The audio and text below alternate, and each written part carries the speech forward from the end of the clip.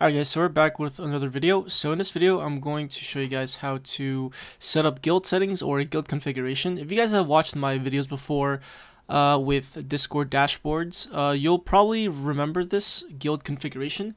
Um, but pretty much all the con guild configuration is, is just a, it's going to be pretty much a collection of guild configs and each guild config is going to have information such as the channel ID for, let's say, moderation logs, where, whichever channel you want the mod logs to go to, it's going to save that channel ID so that way the bot knows which channel to send a message of mod logs to. It's going to save the guild ID's pref the, the guild's prefix. So if you want to create a bot that uh, can have different prefixes among different guilds, then you would want to do something like this. Same thing with um, any type of channel logger, uh, guild prefixes, anything that you can think of that you would want to be dynamic for the Discord bot, you would pretty much want to save it inside this uh, this guild configuration schema.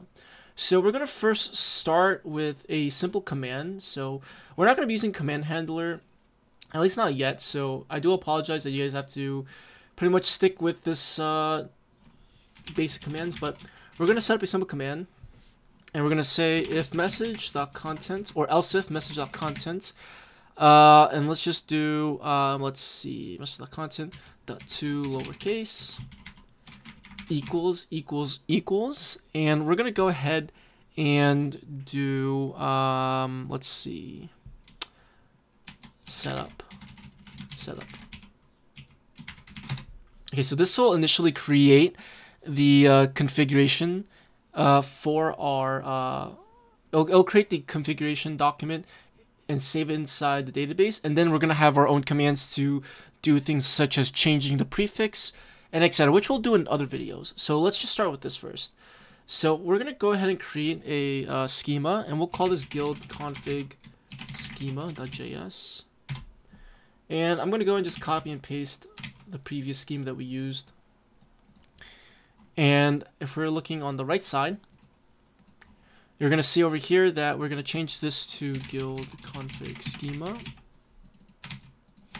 and we're gonna name it guild config. Okay, there we go. So for now, you can add whatever fields you want. All I'm gonna do is I'm gonna add the guild ID. So this is just going to be a string. And then required needs true. And we're gonna make this unique because each uh, document, each guild should only have one configuration. Okay, so one document existing in the, in the collection. So we're going to make that unique. So in case if we save another another uh, configuration for the guild by accident, this will throw an error.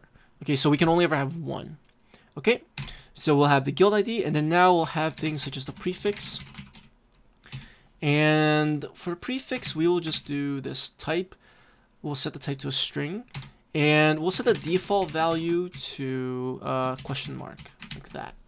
Okay, so now we have the prefix and then what else? We can have whatever we want. We can have, for example, um, mod log, uh, mod log channel, like that. Okay, and obviously for these, you probably wouldn't want to set the required to true because not everyone wants to have logging set up. So you can have a mod log channel, you can have, um, Let's see what else. Uh, anything that you can think of, right? Anything that you can think of, you can fit inside here. So mod log channel, XP log channel, anything. Right? I, I literally mean anything. We'll we'll we'll just deal with these three for now. Okay. So all this is going to do. Uh, let me go ahead and close this out. So this setup command, all this is going to do is when we run this command, we're gonna first obviously want to check to see if the the member the the author of the uh, of the message, but we're gonna reference the member though, the member instance. We're gonna check to see if they're the owner, and I think uh, there was probably a way to check to see if they are an owner, but I can't really remember I think the another easy way to do it is just to simply do message.member.id is equal to message.guild.owner.id. So if this is true, then you're going to allow them to use the command. If that's not true, then you're just going to say you do not have permissions. You do not have permission to use this command. Okay, so if this is true, we are going to Uh, first, we're going to go ahead and check to see if there is already a guild config document that exists for the guild. So to do that, we're going to need to get the guild ID. So let's go ahead and grab the guild ID real quick. Guild ID equals message guild.id. And we're going to go ahead and check to see const guild config db. That's going to be our variable name. This is going to be a truthy value or nully value or a truthy or falsy value. So it's going to be either it's going to either have the guild config or it's just going to be null if it's not found. Okay, so we're going to need to first we're going to need to import this guild config model.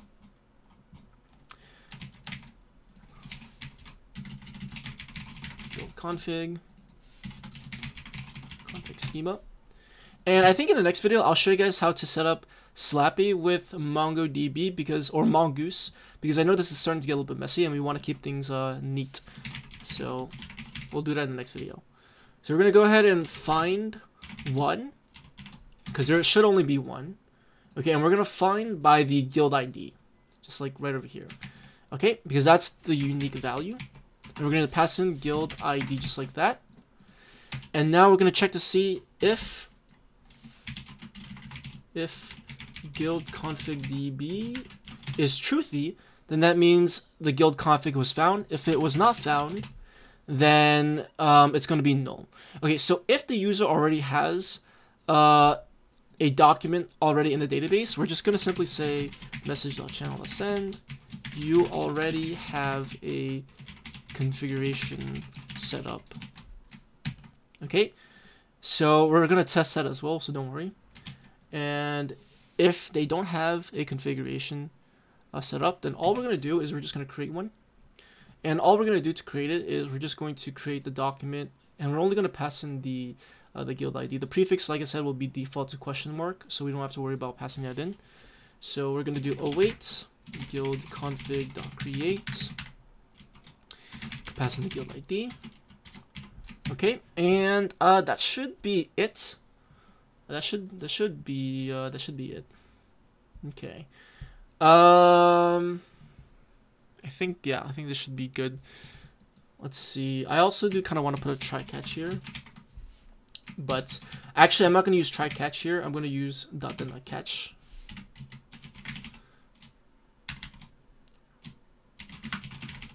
just do message dot channel send set uh, created a config. And we're going to catch the error. Send failed to create a config. Okay, so the reason why I'm using dot dot catch here is because I also want to, I want to basically wrap all of this inside a try catch. So we're gonna do that, and I don't want because I don't want to use multiple try catches. That's why. So if this find one, for some reason, if it fails, it's going to catch the error down here. And we're just going to send a message. We're going to say an error occurred. But however, if this succeeds, but something goes wrong with creating it, creating the guild config, then we're just going to use dot and the catch. I mean, you could use try catch, but I really don't want to use multiple try catches. I personally don't like that. Nest try catches are nested inside that is.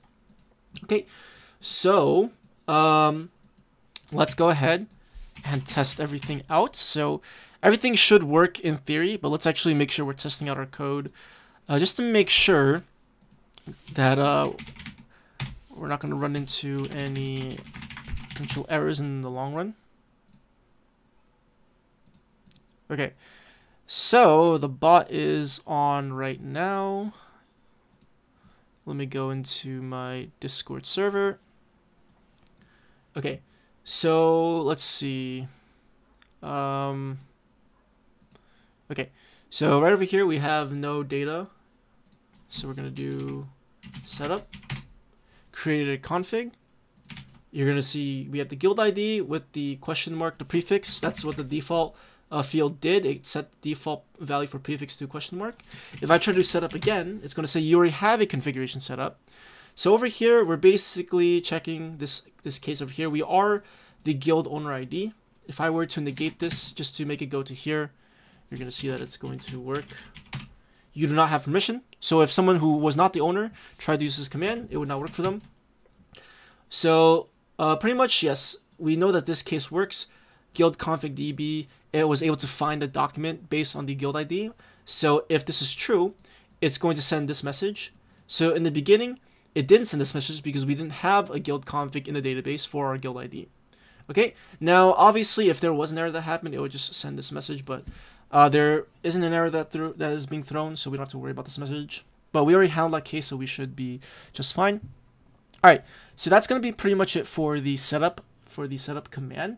So all we did so far was we just set up a guild config schema. Uh, and pretty much we're just saving the guild ID for now. In the next video, I'm going to show you guys how to create the set prefix command. And then I'm going to show you guys how to use the dynamic prefix for multiple different guilds and then change the prefix as well. So I'll see you guys in that video. Peace out.